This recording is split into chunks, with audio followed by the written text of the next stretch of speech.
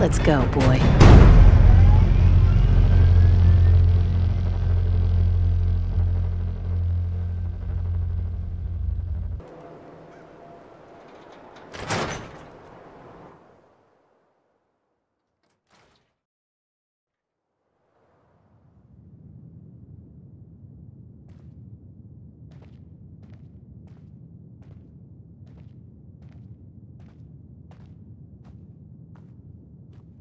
Glad you dropped by. You holding up, Blue? Why are you calling me that? Cause you're a vault dweller? I know you're not wearing the blue jumpsuit right now, but the Pip-Boy and the fish out of water look... Dead giveaways. So here's the deal. I want an interview. Your life story in print. I think it's time Diamond City had a little outside perspective on the Commonwealth. You do that, and uh, I'll tell you what. I'll come with you. Watch your back while you get used to the world above ground. All right, Piper. I'm in. Good. Let's get down to business. So, I know you're from a vault. How would you describe your time on the inside? My family and I were frozen. I didn't spend much time in the vault. W wait, they boxed you up in a fridge? The whole time? Are you saying you were alive before the war? Yes. I'm over 200 years old. Oh my god. The woman out of time. So, you've seen the Commonwealth, Diamond City. How does it compare to your old life?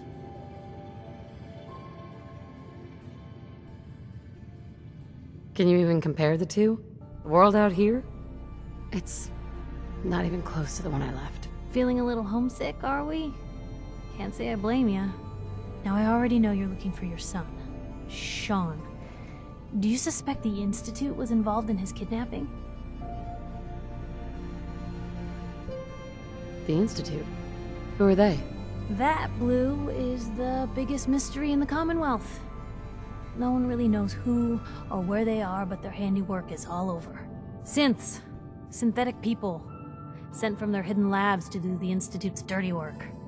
Sometimes they even replace a person with a synth double. A little covert agent no one would ever suspect. Now, not everything that goes wrong has the Institute behind it, but there's always a chance. That's why I'm asking. They make synthetic people? That's right. There are two major kinds you have to watch out for. The first is an obvious fake. Skin looks like plastic, skeleton might even be showing. You see groups of them scouring the Commonwealth, killing people and scavenging what's left. I reported on University Point a while back. Whole town got cleaned out. The second type of synth is the real deal. With skin, blood, warm smiles, and guilty glances, just like a good old-fashioned human. So, do you think they could be involved? The Institute, or one of their agents? Sure sounds like they might be. Not even a baby is safe from them. And people wonder why I can't just look the other way. For the last part of our interview, I'd like to do something different. I want you to make a statement to Diamond City directly. The threat of kidnapping is all but ignored in the Commonwealth. Everyone wants to pretend it just doesn't happen. What would you say to someone out there who's lost a loved one but might be too scared or too numb to the world to look for them? Wait, people just ignore kidnappings out here? Yeah, Blue, you haven't noticed?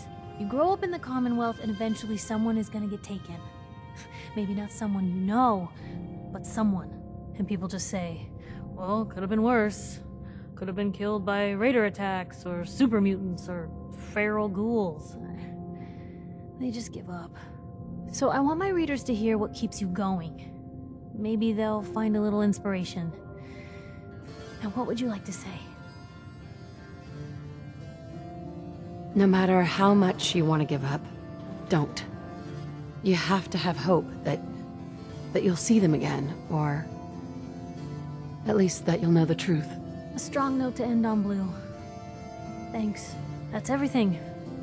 It's gonna take some time to put this all together, but I think your story is gonna give Diamond City plenty to talk about.